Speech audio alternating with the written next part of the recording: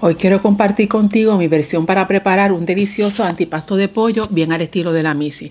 Comenzamos con dos cucharadas de aceite, en mi caso de aguacate, y vamos a poner a sofreír una taza de cebolla. Estoy usando cebolla blanca, pero igual puede ser amarilla o morada. Luego vamos a agregar media taza de zanahoria bien rayadita y continuamos sofriendo. Continuamos con media taza de pimientos verdes, pero puede ser del color de su preferencia.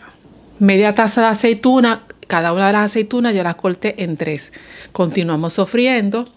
Ahora agregamos dos cucharadas de relish y dos cucharadas de salsa inglesa. Removemos bien para agregar entonces una taza de salsa de tomate. En mi caso estoy usando salsa de tomate con hierbas y especias, pero puede ser la de su preferencia o ketchup.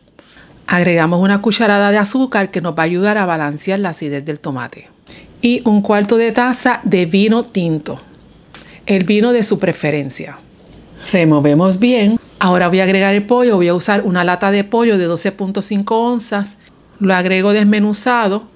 Vamos a remover bien para integrar bien todos estos ingredientes.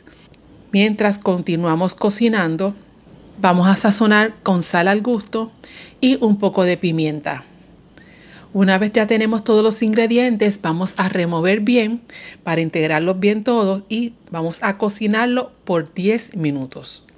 Luego de 10 minutitos vamos a remover bien y vamos entonces a servirlo en un plato o un envase y lo vamos a estar acompañando con galletitas o tostaditas, lo que usted prefiera. Y aquí tendríamos nuestro resultado final, antipasto de pollo al estilo de la misi, ideal para estos días de fiesta. Y recuerda que puedes sustituir el pollo por atún y entonces puedes estar preparando un antipasto de atún. Antipasto de pollo al estilo de la Missy.